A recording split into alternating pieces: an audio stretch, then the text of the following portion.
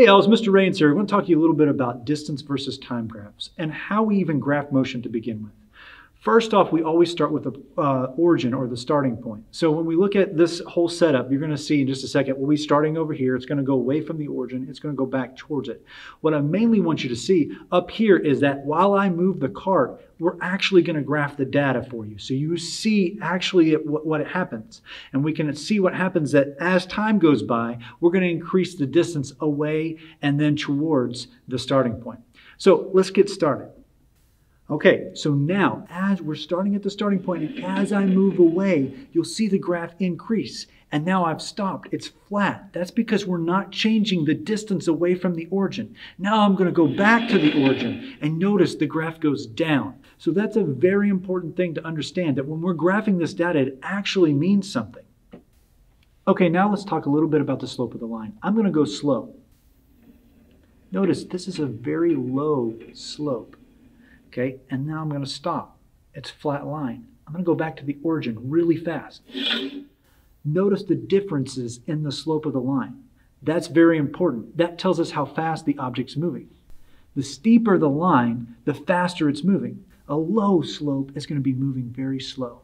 And now let's talk a little bit more about what we're seeing. And let's interpret this graph or kind of pick it apart. Make sure we understand what it means. On the vertical axis, you will see position. Now that might be confusing for you, and what we need to make sure we understand is that position is the distance away from your starting point. Distance away, right? So we start right here, and we want to know how are we changing our distance away? Okay? So that's going to be very important for us to pay attention to. The next thing we'll look at is the horizontal axis is time. And so when we look at this we see that position or distance is measured in meters and time is measured in seconds. So the slope or this line, this rate of change is going to give us our speed, which is a meters per second. Now the next thing we want to make sure we understand is that it doesn't always have to be meters per second to be a rate of change for a distance versus time graph. You could be looking at something like kilometers per hour or miles per hour And I'll go ahead and put miles like this so you're not confused. In this case, when I first start the cart, you'll notice that the cart remains stationary and time goes by. About four seconds goes by and it does not move. It is stationary. So that's what this flat line means. It means that it's starting, it's staying in the same place it started. Then after four seconds, it's going to start going up this line, right? And get to about 0.8, we'll say. All right? And it took four seconds to get there. I think this is eight seconds here or so, and this is four seconds. So we'll call that four seconds, and then we'll call this guy here 0.8 meters is the change, right? So if I came over here and I said, all right, the rate of change was 8 meters every four seconds, or sorry, 0.8 meters every four seconds.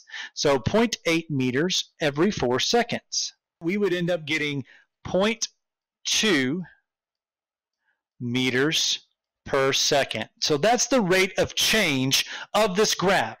What that tells you is that cart was moving away from its starting point at 0.2 meters every second. Now the next thing is right here, I gradually move something. It's pretty much flat. We don't have much movement there.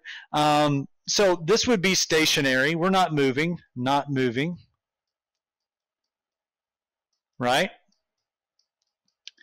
And then all of a sudden, this guy, I go super fast. Okay, and if we did the figuring out here, this was still 0.8, and this is about one second. So from here to here took about one second. So that rate of change would be 0.8 over one second. So 0.8 meters per one second. That's a much faster rate of change than this guy. And that so that tells you why this one, 0.2, is a little less steep than that 0.8. That 0.8 meters per second is much steeper. Then you can see right here, I went back to the starting point. This was go me going back. Anytime you have a value of the line is going downward like this, it's starting high on the left and going downward onto the right, we're going to be going back to the starting point. Remember, this line, the entire time time goes by, represents the starting point because we are looking at the distance being the vertical data. So if you're ever on this line, you're at the starting point. I hope that makes more sense to you and you have a better understanding of how rate of change applies, position versus time, or distance versus time graphs are interpreted so you can really see what's going on.